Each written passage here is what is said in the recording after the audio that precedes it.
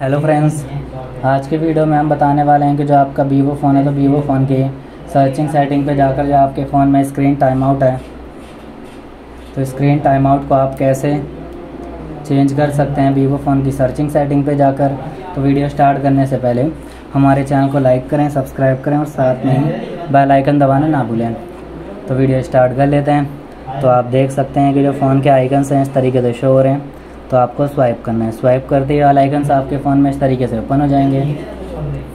तो जो आपके फ़ोन में स्क्रीन टाइम आउट है तो स्क्रीन टाइम आउट को आप कैसे चेंज कर सकते हैं? सिंपली आपकी सेटिंग शो हो रही है तो आपको सर्च करना है। और आपको सर्च करना है।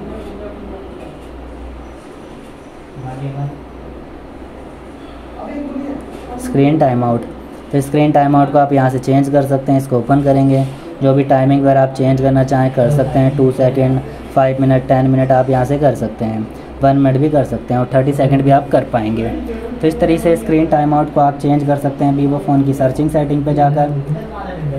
और आपको ऑप्शंस नहीं मिलता है तो फ़ोन की सेटिंग्स पे जाकर भी स्क्रीन टाइम आउट को आप चेंज कर पाएँगे। जैसे आपके फ़ोन की सेटिंग शो हो रही है देखते हैं आप तो इसमें से आपको जाना होगा डिस्प्ले एंड ब्राइटनेस पे।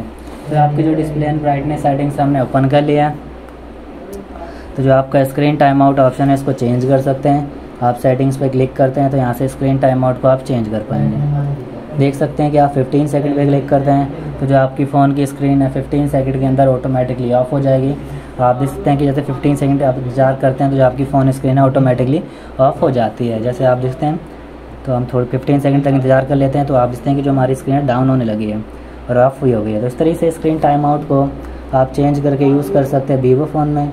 तो आपको वीडियो अच्छी लगी तो लाइक करें, सब्सक्राइब करें, बेल आइकन दबाना ना भूलें और थैंक यू नेक्स्ट वीडियो के लिए इंतज़ार करें।